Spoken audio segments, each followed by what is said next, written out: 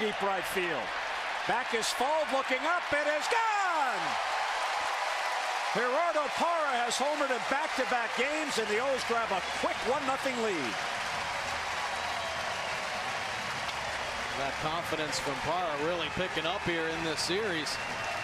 Second home run against the Athletics. Gerardo Parra up for his second at bat, a chance for an RBI. Grounded towards the hole and a base hit in the right field. Machado's being set. Here's Fuld up with the play. Throw to the plate, not in time. Throw to second, and they get Parra. But the run does score. And he's got another base hit and a three for three game. As he goes with the pitch and a nice line drive single in the left center field.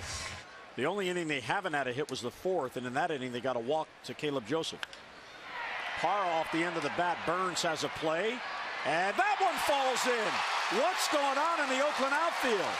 Here's Machado to score, and it's 13 to 2. I just uh, researched that stuff earlier. Can you say five for five? Gerardo Parra can. Machado thought about going to third. Looked like he was maybe a little gingerly going around the bag. Remember that shot he took off the shin